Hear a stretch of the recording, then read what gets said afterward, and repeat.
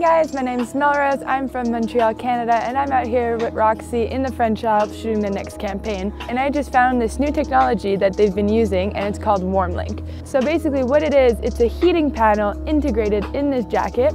And how it works is I have a battery pack here. I plug it into my pocket, put that back in there, and then I just, on the press of this button, it turns on, then it's on medium heat, and then it goes on high heat.